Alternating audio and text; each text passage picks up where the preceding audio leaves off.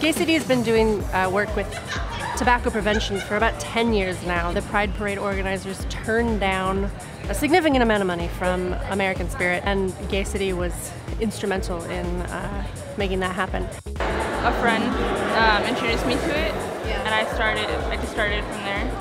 I have a little sister, and I take her to parks, and I don't want her to be around a lot of cigarette smoke. No, I know I don't smoke cigarettes. Since high school, so since I was 16. I have friends that like drink and smoke, but I don't. I just don't see see like the appeal in doing any of that. 14, I started smoking my mom's cigarettes. When you're a kid, they look really appealing and attractive.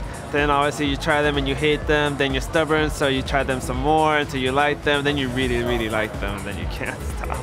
Like, cause I was going through rough times, so I used cigarettes to make take me to like a different place, and I felt like better. People smoke cigarettes for so many reasons, and they're mostly very different reasons than the reasons why people smoke weed.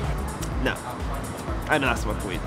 I thought that it would calm me down. LGBTQ smoke cigarettes more than the general population because maybe they get criticized more than the general population. They get discriminated against, and maybe it's their way of coping with it.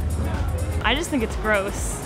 Uh, yes, I smoke cigarettes. Our priority is to really reframe the issue and make people start talking about how tobacco companies target us as a community.